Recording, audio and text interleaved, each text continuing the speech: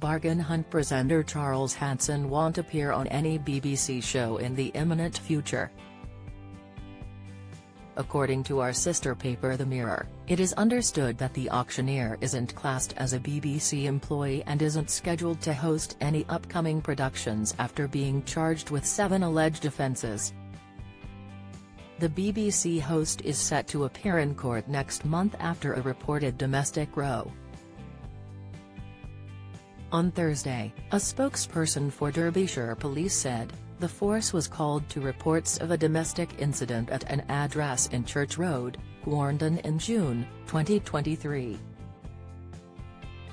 A man in his 40s was arrested on suspicion of assault and was released on police bail while inquiries continued. On 14 December, Charles Hanson was charged with seven alleged offences, assault occasioning actual bodily harm x2, assault by beating x2, engaging in controlling and coercive behaviour.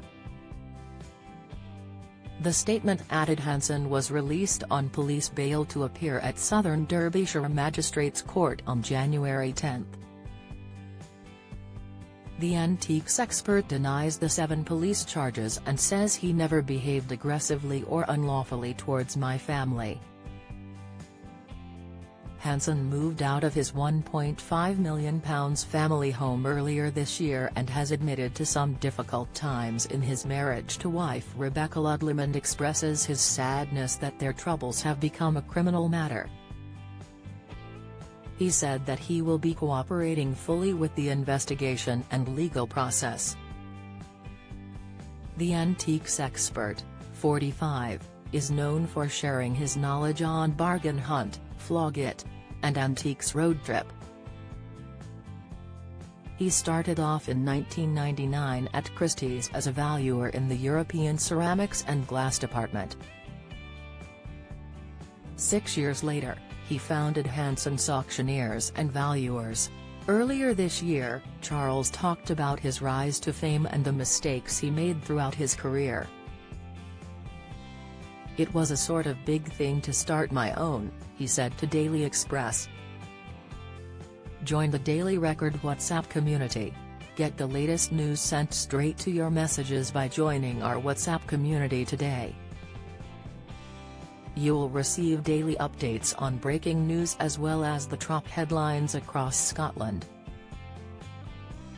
No one will be able to see who is signed up and no one can send messages except the Daily Record team. All you have to do is click here if you're on mobile, select Join Community and you're in. If you're on a desktop, simply scan the QR code above with your phone and click Join Community. We also treat our community members to special offers, promotions, and adverts from us and our partners.